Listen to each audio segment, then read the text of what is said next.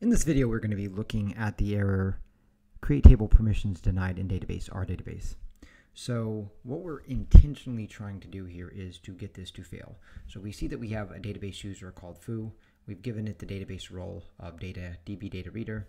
And of course, this is a uh, SQL user. And this user should fail to be able to create a table. And the reason for that is because the create table permission um, is what is required in order to create a table and uh, as well as alter schema permission. Okay. And in Azure SQL, I believe it is the DB owner is the one that is able to create a table. However, that does not mean that temp tables and variable tables cannot be created uh, by a user with DB data reader. So what we're going to do is we're going to try to create a variable table, uh, one temp table, which is just the local temp table, and then a global temp table.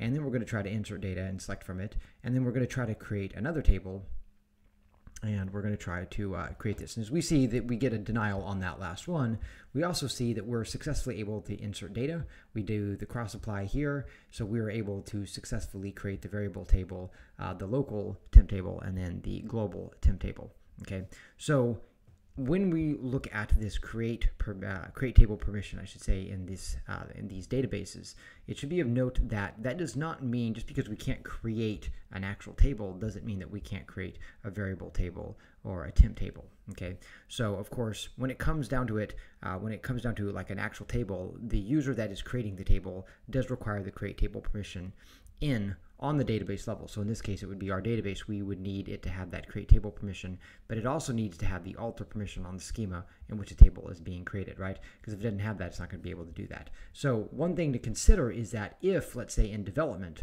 we have a user here that we're using, and I've seen people use these type of tables like a main table for a temporary table, and then they drop it. Well, if we don't want to give the user the ability to do that, like if we want to keep the user tied down, one of the things that we can do, of course, is we can let the user do use temp tables, right? So that is one advantage, and that's that's part of the. It's not the only reason, but that's part of the reason why temp tables might be used in some situations, is because one of the things about temp tables or even variable tables is that you can still keep that level of security. No, they can't create a, a main table like this, but fact is they can create um, these other type of tables if they're using it for temporary purposes. So this is just kind of a demo, and it's definitely something that I would recommend experimenting with. But it's one of those things that we, in general, generally speaking, there are some exceptions, but we might not want uh, certain users that are executing processes to have the ability to create tables. If they need it for temporary purposes, that's when we're going to go ahead and we're going to use things like temporary or variable tables.